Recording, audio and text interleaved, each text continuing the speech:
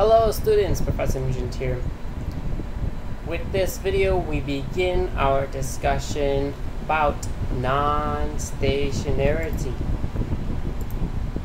So far, we have assumed that the data that we have been using are stationary. That is, the distribution of y s plus 1 through y s plus t does not depend on s. So the variance of y does not change over time. The mean the expected value of y does not change over time. In general, the probability distribution of y does not change over time. Um, the estimated coefficients that we would get from y does not change over time. The first autocorrelation does not change over time. And this is important because if we want to be able to forecast, then we need to be able to say that the distribution of y over the current over over the current series or in the present is going to be the same in the future. If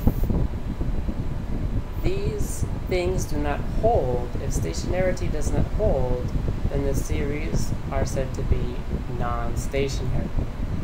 And there are two important types of non-stationarity that we are going to discuss. The first that we are going to discuss in this video is trends. And then Later, we will discuss structural breaks. So we'll first focus on what is a trend. Then we will have a separate video that looks at deterministic and stochastic random trends.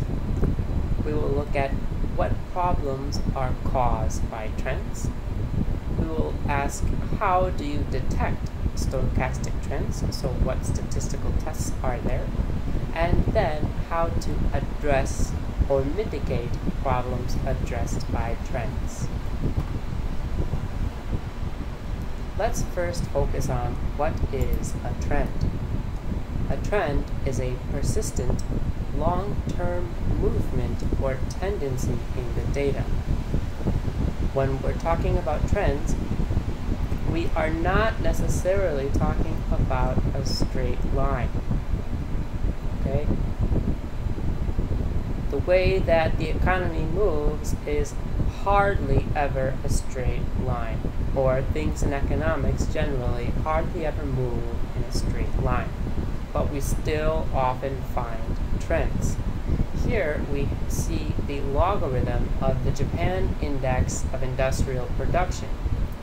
Observe that first there is a, a trend of upward, an upward trend of fast increasing, uh, a fast increasing upward trend in the industrial production. And then there's still an upward trend, but that trend is decreasing. Or the, the, the rate of increase is decreasing. Right? So, and maybe it's now flat. So the, there are trends, but there are there are outside elements that that affect the trend. Let's look at another series. The United States unemployment rate from 1960 to 2017. On the y-axis we have percent. What we see is a general, there's, there's a somewhat increase in the unemployment rate over this part of the series you see there's a, a decrease over here. Then there's somewhat of a decrease. But with every recession, there is a spike in the unemployment rate. Right? So it's hard to say whether or not there's a trend. We would have to carry out a statistical test. But you can sort of see that there's a bit of an upward trend here, there's a bit of a downward trend here, but we would really need to carry out a statistical test to prove it to ourselves. And then in this slide we have the percentage change in daily value of the Wilshire 5000 Total Market Index. So this is how does the market change, the, the, the total market basket of stocks change, the value of these stocks change from day to day. And really, there's no trend here, right? There's, there's absolutely no trend. Um, and that is what the efficient markets hypothesis predicts. Efficient markets hypothesis that one of the things is that you could use the value the the value that uh, change in stock prices yesterday to predict what the change in stock prices will be today. That all of the available information is already contained in the current stock price.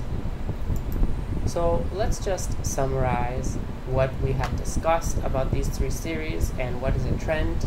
The Log Japan Industrial Production series clearly has a long run trend. It's not straight, but uh, there's a slowly decreasing trend. Um, what we mean by decreasing is that the trend is upward, but the rate of increase is decreasing. Okay, there is fast growth during the 1960s and 1970s, slower growth during the 1980s, and then stagnating during the 1990s and 2000s. That is when you see the industrial production index sort of level off. The unemployment rate, the United States unemployment rate, has long-term swings. There, we, we saw that general increase from 1970 to 1990, and then a decrease from 1990 to 2007. But these long-term fluctuations are interrupted by large increases due to recessions and decreases in expansions. So there may be some small trend, it is hard to tell. And again, we would need to carry out some statistical tests to reject that there there is a, a trend um, to, to prove to ourselves whether or not we see a trend. And finally, the daily stock price returns there's no apparent trend with this series. There are periods of persistent high volatility, but this is not a trend. Okay, there's there's there's no um, obvious upward or downward trend, just persistently high volatility uh, within a certain uh, range of time. So this is a, the, the conclusion of the video of what is a trend. Please tune in to the next video where we will discuss the difference between a deterministic trend and a stochastic trend.